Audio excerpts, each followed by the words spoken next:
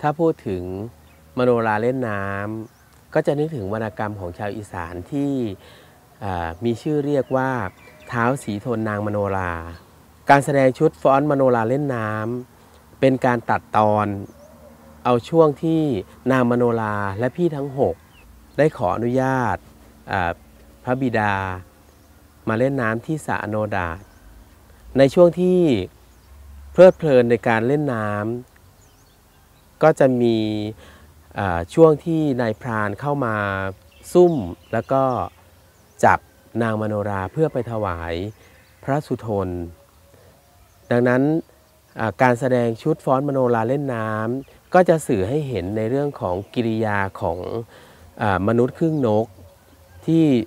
มีกระบวนท่าที่ใช้ในเรื่องของการการฟ้อนการเล่นน้ำว่าธรรมชาติของการ เล่นน้ำเนี่ย มีท่าอะไรบ้างนะครับ ฉะนั้นชุดฟ้อนมโนราเล่นน้ำก็จะสื่อให้เห็นธรรมชาติของอมนุษย์ครึ่งนก ในส่วนของการแต่งกายเราได้รับอิทธิพลจากคณะมอลำลังสีมัน ซึ่งคุณแม่ชวีวันได้ได้เป็นนางเอก นางเอกที่มีชื่อเสียงในในในยุคนั้น แล้วก็ได้นำลักษณะของการแต่งกายมามาใช้เป็นเครื่องประดับก็จะมาจากหมอลำแล้วก็มีปีกมีมีหาง ซึ่งก็จะใช้